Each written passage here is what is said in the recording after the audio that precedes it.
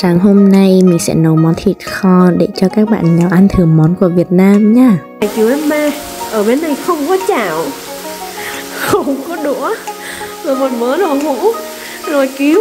Cuối cùng thì mình cũng nấu xong nhưng mà nó hơi uh, Mẹ ơi, cuối cùng thì từ tối qua con đã được ăn thịt và ăn món Việt Nam rồi Sáng sớm thói quen của mọi người ở đây là ngồi ra ngoài nắng xong rồi cùng nhau chải tóc. Ai ta ta Bây giờ mình sẽ chẻ mía và gọt kiwi mình mua ngày hôm qua Và chia cho các bạn nhỏ nha. Today is the last day of the examination sau khi đưa nó đến trường. Bây giờ mình đang khám phá đường phố của mình mình ăn luôn. Uhm, Thật ra là bây giờ đi đổi tiền Tại vì là hết sạch tiền Mình thấy quán nhỏ này ở bên đường ghé vào làm một ly trà sữa luôn.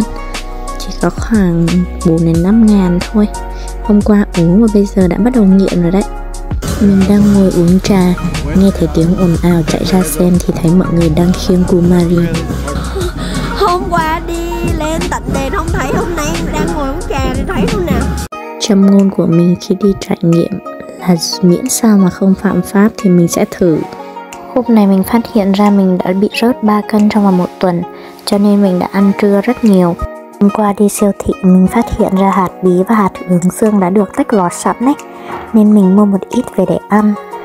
Cuối cùng mình cũng chơi được với Kang Chi Tại vì cô bé này cũng thích hạt bí giống mình Từ hôm nay, mỗi buổi tối mình và các bạn nhỏ sẽ dành thời gian bên nhau. Sáng hôm nay tỉnh dậy thấy bầu trời quá là đẹp đi Cho nên mình quyết định ra ngoài. Giờ đi ở giữa đường xem Xem là Kiếm được gì mới không? Mua hai cái xiên thịt trâu này 60 rupee. Sau khi người ta chiên lên coi bộ cũng được ha. Giờ ăn thử cái thịt trâu chiên ta ấy Nghi là tẩm ướp gia vị giống như cái kia quá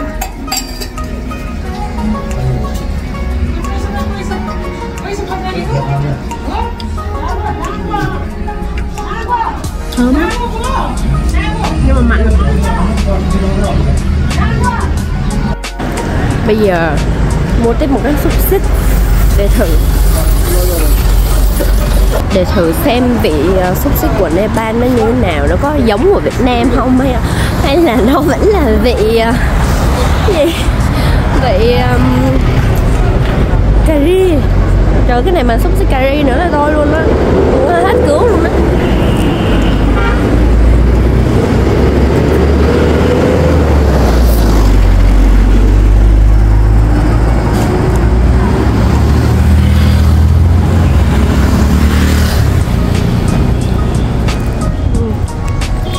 Dở. Dở lắm. Lượn vậy đủ rồi mình về nhà thôi. Hôm nay mình sẽ ăn sáng bằng trái dưa leo này Và sau đó ra ngoài đi đến Buddha Stupa bây giờ tự đi một mình nha uh, mom với dad ở nhà cứ kêu you please come back. Không come back thì đi đâu trời? Mình đã tới con hẻm dẫn vào Buddha Stupa rồi đây ở đây thì người ta bày bán trái cây, quần áo Rất là nhiều mặt hàng kiểu quà lưu niệm ấy Mình không hiểu tại sao nhưng mà khi mình tới đây Cái cảm giác nó thân thuộc giống như là ở Trung Quốc hay là ở Việt Nam Hơn là ở Godawari. Oh my god Nhìn ở trên video vậy thôi, chứ ở ngoài là mình thực sự bị sốc luôn đấy các bạn. Nó không chỉ đẹp mà cái cảm giác nó bình yên kiểu gì cũng đấy. Bây giờ mình sẽ dẫn các bạn đi một vòng nhé.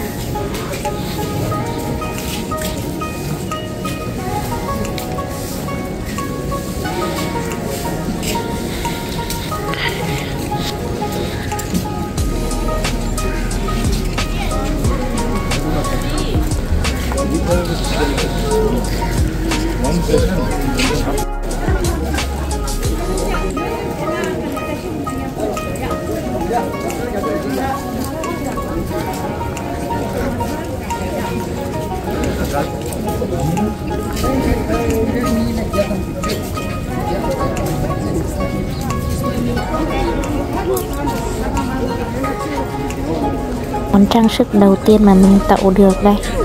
55 cành Cái gì đấy? Vietnamese Mình bước vào quán vì nghĩ rằng quán Việt Nam và chắc chắn sẽ có một người đồng hương ở trong đây. Nhưng mà tôi đã sai rồi. Thôi thì ăn tạm món Việt Nam vậy. Ăn xong thì mình lại tiếp tục đi một vòng quanh stupa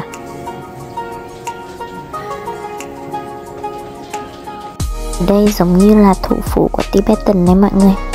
Cho nên có rất nhiều quán ăn Trung Hoa. Ở đây cũng có một số nhà hàng Việt Nam, Nhật Bản, Hàn Quốc nữa.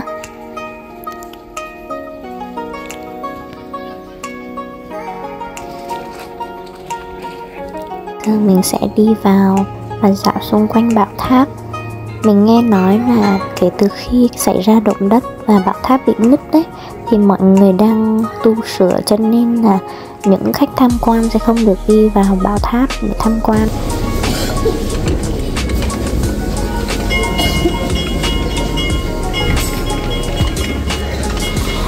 Bây giờ mình sẽ đi vào một cửa hàng bán tranh thang ca.